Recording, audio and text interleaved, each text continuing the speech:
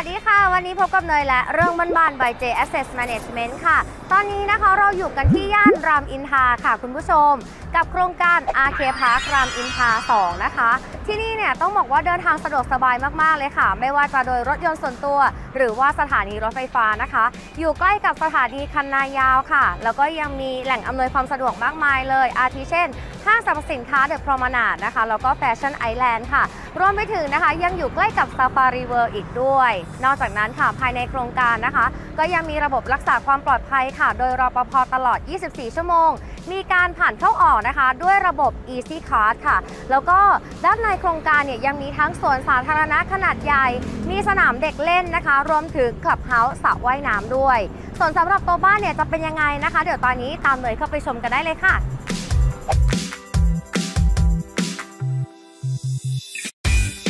และตอนนี้ค่ะเราอยู่บริเวณตัวบ้านเรียบร้อยแล้วนะคะสำหรับบ้านหลังนี้ค่ะ เป็นบ้านเลขที่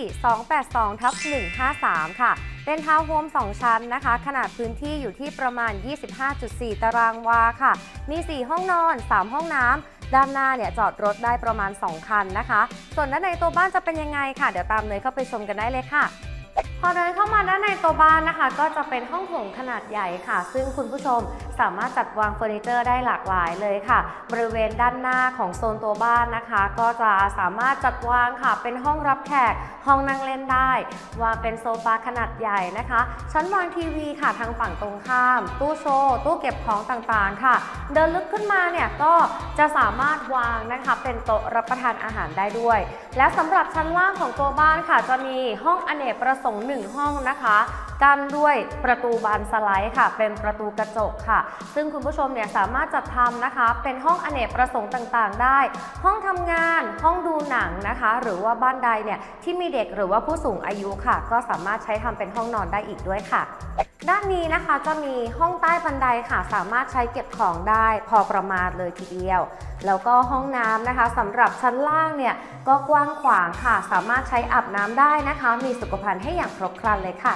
ทางด้านหลังโซนครัวค่ะ จะมีห้องเล็กๆนะคะ ก่อนที่จะเข้าไปเป็นโซนห้องครัวด้านหลังตัวบ้านนะคะ ก็คุณผู้ชมเนี่ยสามารถจัดวางค่ะเป็นเครื่องซักผ้า หรือว่าตู้เย็นได้ที่โซนนี้เลย และทางด้านหลังค่ะมีการต่อเติมไว้ให้เรียบร้อยแล้วค่ะ มีการปูพื้นนะคะทำหลังคาค่ะ แล้วก็ทำเป็นการบิวอินนะคะ ส่วนครัวเอาไว้ให้เล็กน้อย มีซิงค์ล้างจานให้ค่ะ ชมบริเวณชั้นล่างกันไปเรียบร้อยแล้วนะคะ เดี๋ยวตอนนี้ตามเลยขึ้นไปชมชั้น 2 กันค่ะ สำหรับห้องแรกที่พามาชมค่ะ จะเป็นห้องนอนหลักหรือว่าห้อง Master Bedroom นะคะ จะอยู่บริเวณด้านหน้าของตัวบ้านค่ะ มีขนาดใหญ่นะคะ แล้วก็จะมีกระจกบานใหญ่ค่ะ สามารถรับลมและแสงธรรมชาติได้เป็นอย่างดีเลยสำหรับห้องนี้นะคะ คุณผู้ชมสามารถจัดวางเฟอร์นิเจอร์ได้แบบสบายๆค่ะ ไม่ว่าจะเป็นเตียงนอนขนาดใหญ่นะคะ ได้ถึง 6 ฟุตเลยค่ะ เพิ่มเติมเฟอร์นิเจอร์อื่น ๆนะคะ อาทิเช่น ตู้เสื้อผ้าโต๊ะเครื่องแป้งค่ะ มีกระจกบานใหญ่ให้ 1 บานแล้วก็ทางด้านนี้นะคะ ความพิเศษของห้องนอนหลักเนี่ยก็คือจะมีห้องน้ำอยู่ในตัวด้วยนะคะ มีสุขภัณฑ์ให้อย่างครบครันเลยทีเดียวค่ะ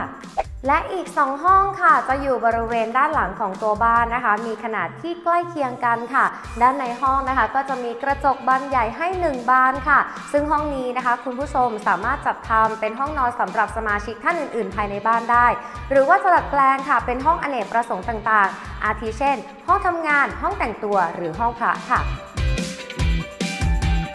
บริเวณชั้น 2 ค่ะจะมีห้องน้ำให้อีกหนึ่งห้องนะคะ อยู่บริเวณกลางตัวบ้านให้สมาชิกภายในบ้านสามารถใช้งานได้ร่วมกันค่ะ การเดินทางไปยังหมู่บ้าน RK Park รามอินทรา-ซาฟารีเริ่มต้นที่ฝั่งตรงข้าม Jas Green Village คู้บอนขับตรงไปบนถนนคู้บอน 3.5 กิโลเมตร จุดหมายจะอยู่ขวามือค่ะ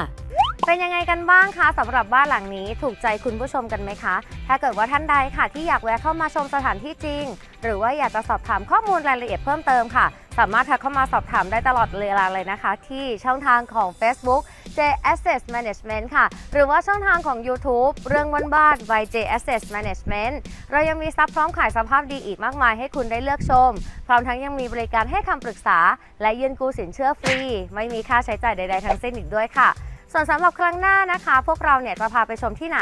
รอติดตามกันได้เลยค่ะ คลิปนี้เนยขอตัวลาไปก่อนนะคะ สวัสดีค่ะ